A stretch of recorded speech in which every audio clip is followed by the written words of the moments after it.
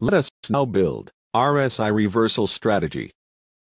Here are the entry and exit conditions. For this strategy, we will use the following instruments.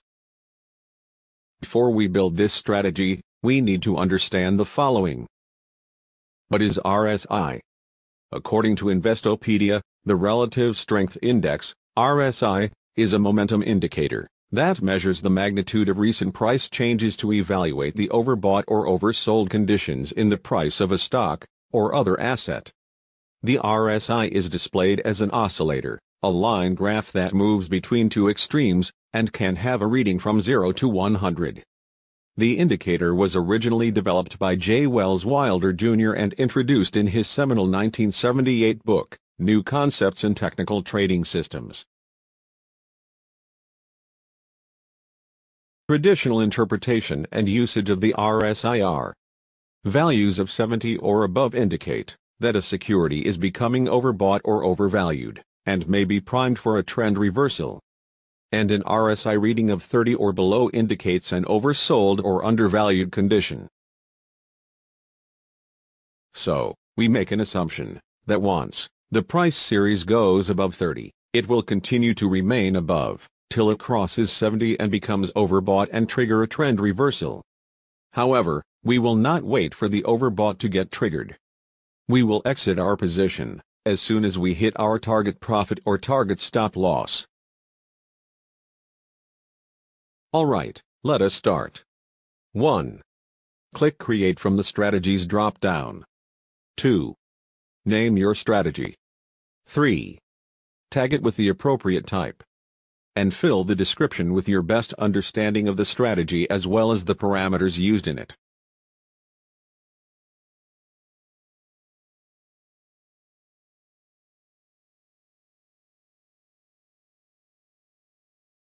Before we create our entry conditions, we need to select our list of instruments, which the conditions will scan through, by clicking the three dots next to set number 1. If you are unaware what list is and how it works, please see the tutorial on it, created separately.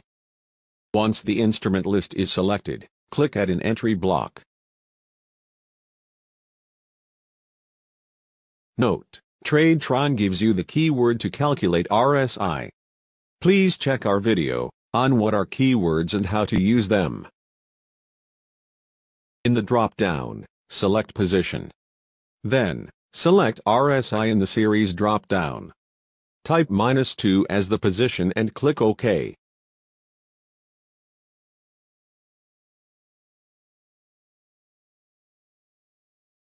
Inside the newly created position keyword, click RSI, and type 14 in the period. Then click OK. Then click Symbol. Select your period under Candle Type. Select Number of Candles under Max History Candles. And click OK.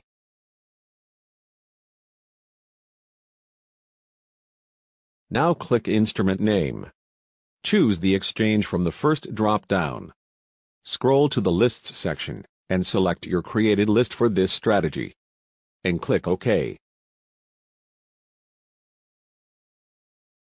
Next, click the keyword drop-down, and select the lesser than sign and click OK. Click the keyword drop-down, select the number keyword. Type your threshold and click OK. Great! You have successfully created the first condition. All you need to do now is to add more conditions and connect them with the logical operator. To understand how the logical connection works, please see our video made separately on this. Once all the conditions are done, click Submit to save your entry condition. Now that you have created your entry condition, you need to take your positions once this condition is satisfied. 1. Click Add next to Positions.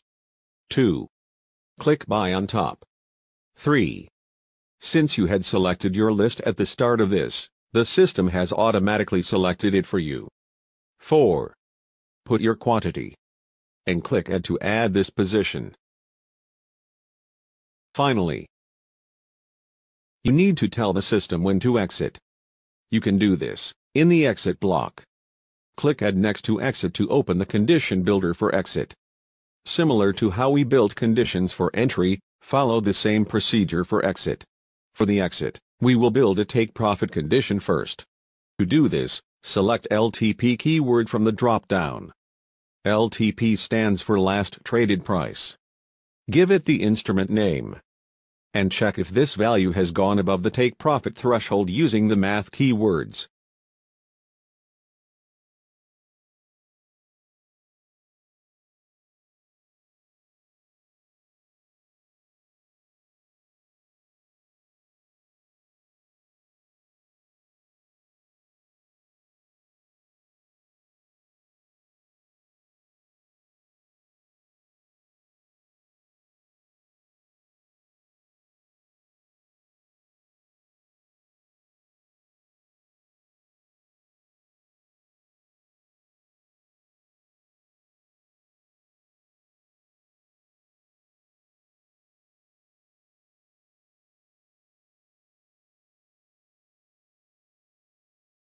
You have successfully created the first condition. All you need to do now is to add more conditions and connect them with the logical operator. Please note, the conditions will be connected to each other, with a logical OR, as we want to exit the trade whenever any one of the three conditions is satisfied. Fantastic! All that is left to do is scroll down and click Create, and select Deploy.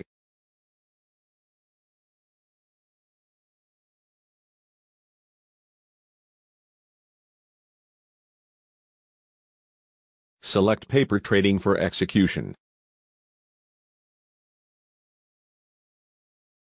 And you have successfully created your strategy. Now, go to your deployed page to see if the strategy is taking positions.